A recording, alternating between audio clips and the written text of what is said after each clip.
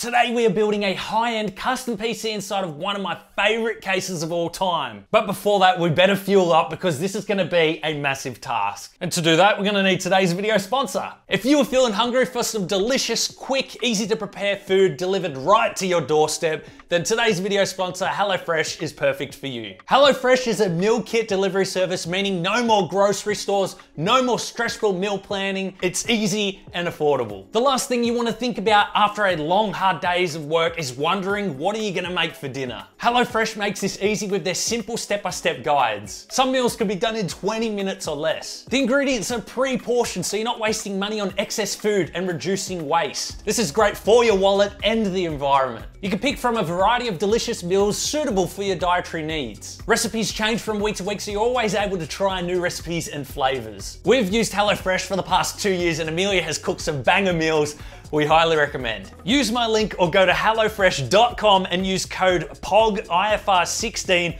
for up to 16 free meals, plus three surprise gifts across six HelloFresh boxes, plus free shipping. The Phanteks Evolv X, a case you have not seen on this channel for a very long time. Mate, we are super excited to be doing a build in this high-end case. Comes with three pre-installed DRGB 140mm fans and will be utilizing majority of its cooling space to fit two 360mm radiators to cool the system. This case was built with high-end water cooling in mind with a large cutout to fit thicker radiators at the front and the top radiator has plenty of space between it and the top of the RAM, which is usually a limiting factor in most cases. For this particular case, due to the fact that we'll be utilizing two 360mm radiators, we'll be removing the pre-installed 140mm fans as the two pieces of hardware are not compatible. The ROG Maximus Z690 formula is pretty much the only white motherboard we had, and we actually just got this one back from repair the other one had some problems with the uh, memory channels for some reason. I'm not, not exactly sure what the issue was, but we got a full replacement board in. And so we pretty much get to show you guys the peeling. I know you guys like the peeling, but not only that, look how gorgeous this motherboard is.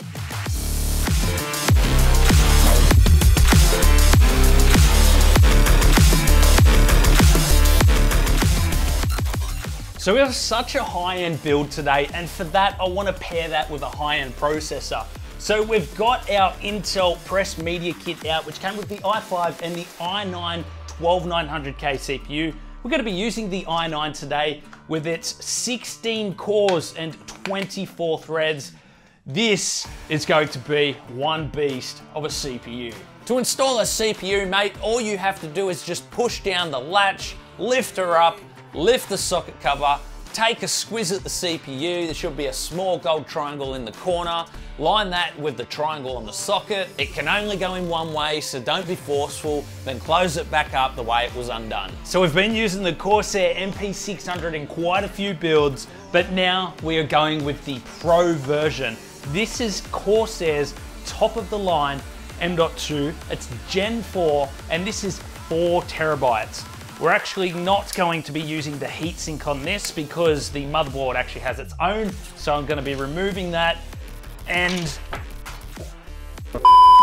the top slot is usually where you want to install the NVMe drive. These drives actually perform better at a hot temperature, but not overcooking them, which is why they still require a heatsink for passive cooling in some cases, especially these high-end Gen 4 drives. Just please don't forget to remove the protective film from both the top and the bottom and then latch it or screw it in depending on your motherboard. This is our Corsair Dominator Platinum RAM in DDR5. It is 5600 megahertz, 32 gigs in total.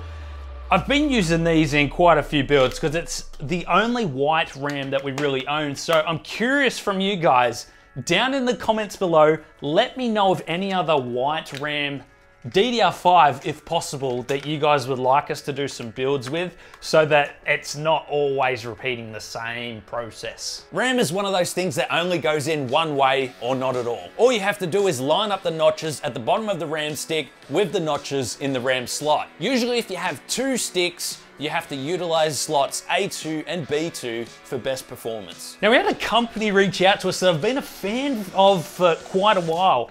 This is the Glacier C360i from Phanteks. they reached out and wanted us to do a build with them and I could not be more happy because we've loved their cases and their water cooling gear from ages. I used to have a contact and we finally found someone else. So I can't wait to get this in the system. When applying thermal paste, little is more. However, overdoing it will not affect the performance. Excess paste will just be pushed out the sides once applying pressure. The CPU block should not be over tightened. This could cause stress on the motherboard and the socket, leading to something failing, or you can crack the acrylic itself. It is important to tighten the block gradually with opposite corners being tightened slightly to ensure a nice even spread of the thermal paste for best cooling potential.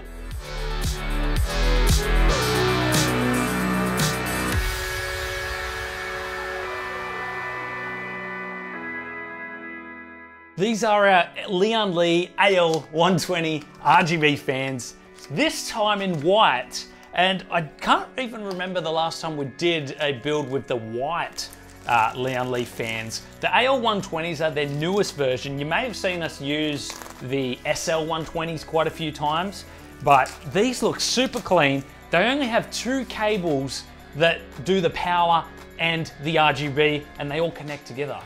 Really smart design. Here is what I mean by they all connect together. It saves excess cable mess, meaning your overall build is clean and tidy at the back. We have two CLM 360 radiators from Thermaltake. These are 40 millimeters in thickness. They don't have a high fin density. So their, their fin density is 14 FPI, which means that the Lian Li fans are gonna have no trouble at all pushing the air through the fins but where it makes up from that is these are 40 millimeters thick rather than your usual 29 millimeters thick that you might get in a slim radiator. So effectively you're getting more surface cooling area within the same area constraints, which is absolutely fantastic.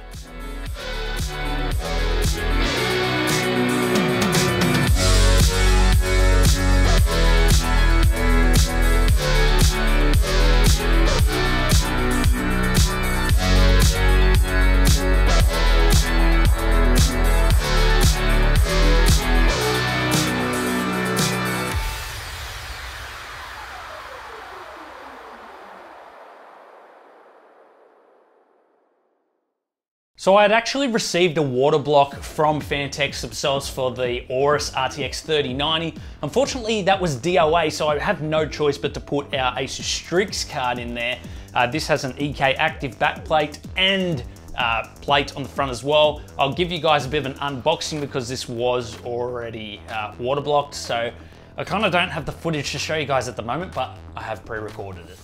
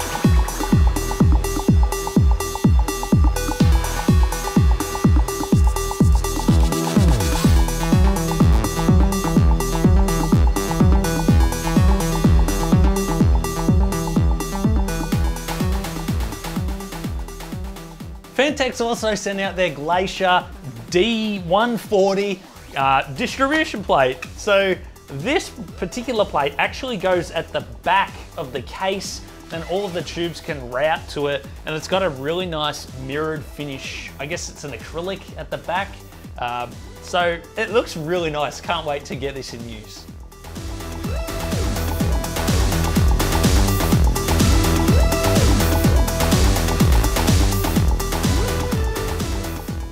This is the Phanteks Revolt X power supply. It is 80 plus platinum rated and I actually didn't even know Phanteks made power supplies, but this power supply is actually a Seasonic power supply. So you know that it's gonna be super reliable and 1200 watts. That's gonna be like plenty for the system, lots of headroom.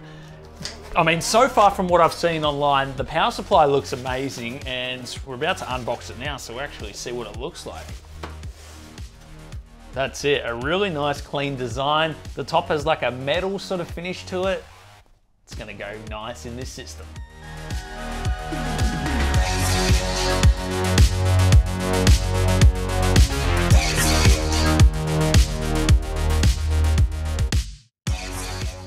This is the Phanteks R220C Glacier, uh, I guess, reservoir.